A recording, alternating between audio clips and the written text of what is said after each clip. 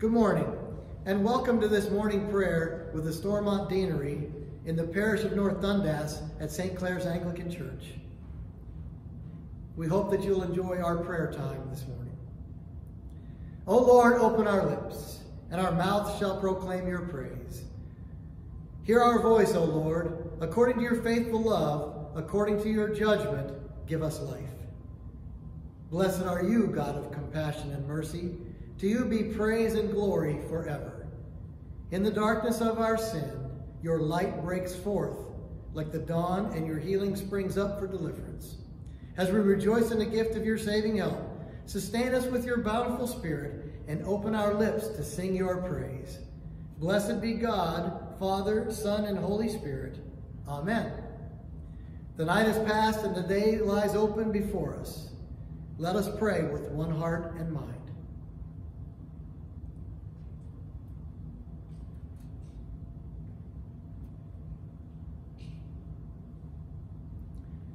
As we rejoice in the gift of this new day, so may the light of your presence, O God, set our hearts on fire with love for you, now and forever. Amen. Canticle this morning, a song of penitence. Have mercy on me, O God, in your great goodness. According to the abundance of your compassion, blot out my offenses. Wash me thoroughly from my wickedness, and cleanse me from my sin. For I acknowledge my faults, and my sin is ever before me. Against you only have I sinned and done what is evil in your sight, so that you are justified in your sentence and righteous in your judgment. Cast me not away from your presence, and take not your Holy Spirit from me. Give me again the joy of your salvation, and sustain me with your gracious spirit. Then shall I teach your ways to the wicked, and sinners shall return to you. Deliver me from my guilt, O God, the God of my salvation, and my tongue shall sing of your righteousness. Glory to the Father, and to the Son, and to the Holy Spirit, as it was in the beginning, is now, and shall be forever. Amen. The psalm appointed for this morning is Psalm number 41. That's Psalm 41. Blessed are those who consider the poor and needy. The Lord will deliver them in the time of trouble. The Lord preserves them and restores their life, that they may be happy in the land. He will not hand them over to the will of their enemies. The Lord sustains them on their sickbed. Their sickness, Lord, you will remove. And so I said, Lord, be merciful to me, heal me, for I have sinned against you. My enemies speak evil about me, asking when I shall die, and my name perish. If they come to see me, they utter empty words. Their heart gathers mischief. When they go out, they tell it abroad. All my enemies whisper together against me. Against me they devise evil, saying that a deadly thing has laid hold on me, and that I will not rise again from where I lie. Even in my bosom, friend, whom I trusted, who ate of my bread, has lifted up his heel against me. But you, O Lord, be merciful to me, and raise me up, that I may reward them. By this I know that you favor me, that my enemy does not triumph over me. Because of my integrity, you uphold me, and will set me before your face forever. Blessed be the Lord God of Israel, from everlasting to everlasting. Amen and amen. God, our deliverer, Raise up the poor and comfort the betrayed. Through the one for our sakes became poor, and whose betrayal brought our salvation. Jesus Christ our Lord.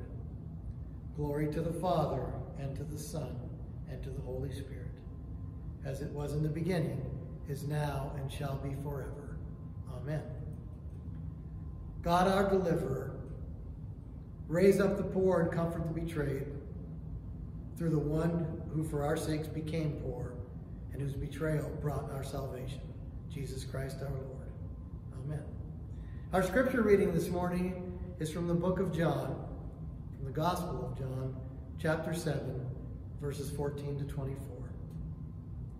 About the middle of the festival, Jesus went up into the temple and began to teach. The Jews were astonished at it, saying, How does this man have such learning when he has never been taught? Then Jesus answered them, My teaching is not mine, but his who sent me. Anyone who resolves to do the will of, the, of God will know whether the teaching is from God or whether I am speaking on my own. Those who speak on their own seek their own glory, but the one who seeks the glory of him who sent him is true, and there is nothing false in him. Did not Moses give you the law? Yet none of you keeps the law. Why are you looking for an opportunity to kill me? The crowd answered, You have a demon. Who is trying to kill you? Jesus answered them, I performed one work, and all of you are astonished. Moses gave you circumcision. It is, of course, not from Moses, but from the patriarchs. And you circumcise a man on the Sabbath.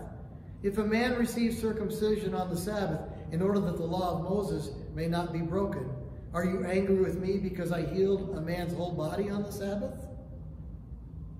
Hear what the Spirit is saying to the church. Thanks be to God. The Song of Manasseh. Lord Almighty and God of our ancestors, you who made heaven and earth in all their glory, all things tremble with awe at your presence before your great and mighty power. Immeasurable and unsearchable is your promised mercy, for you are God most high. You are full of compassion, long-suffering, and very merciful, and you relent at human suffering. O God, according to your great goodness, you have promised forgiveness for repentance to those who have sinned against you. The sins I have committed against you are more in number than the sands of the sea. I am not worthy to look up to the height of heaven because of the multitude of my iniquities. And now I bend the knee of my heart before you, imploring your kindness upon me. I have sinned, O God, I have sinned, and I acknowledge my transgressions.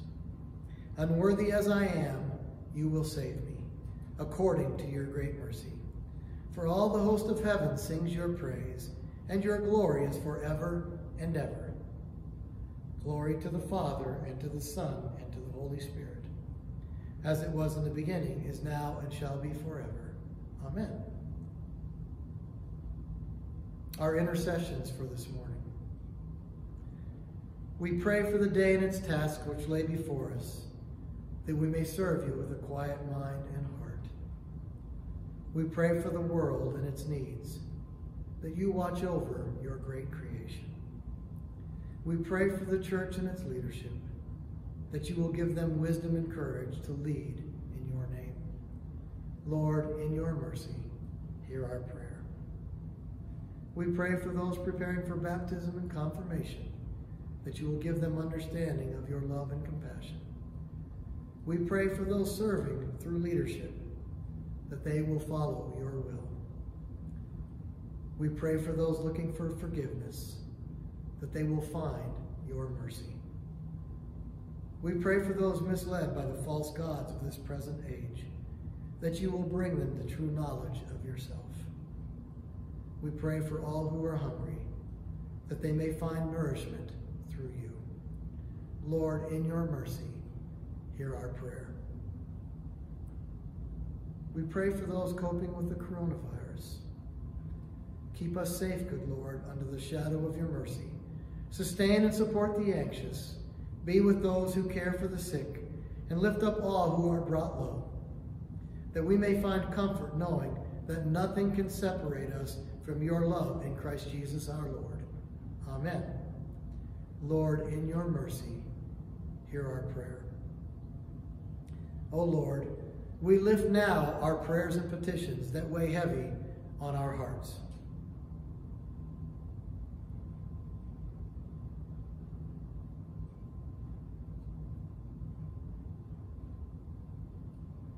Lord, in your mercy, hear our prayer. The collect for today, Almighty God, you show to those who are in error the light of your truth, that they may return to the way of righteousness. Grant to all those who are admitted into the fellowship of Christ's religion, that they may reject those things that are contrary to their profession, and follow all such things as are agreeable to the same through our Lord Jesus Christ, who is alive and reigns with you in the unity of the Holy Spirit, one God, now and forever. Amen. Trusting in the compassion of God, let us pray with confidence as our Savior has taught us. Our Father, who art in heaven, hallowed be thy name. Thy kingdom come, thy will be done on earth as it is in heaven. Give us this day our daily bread, and forgive us our trespasses, as we forgive those who trespass against us. And lead us not into temptation, but deliver us from evil. For thine is the kingdom, the power, and the glory, forever and ever. Amen. May God our Redeemer show us compassion and love. Amen. Let us bless the Lord. Thanks be to God. Well, thank you for sharing this time of morning prayer with us, and thank you for giving us the opportunity to serve you through this week of Lent. Have a blessed day. Amen.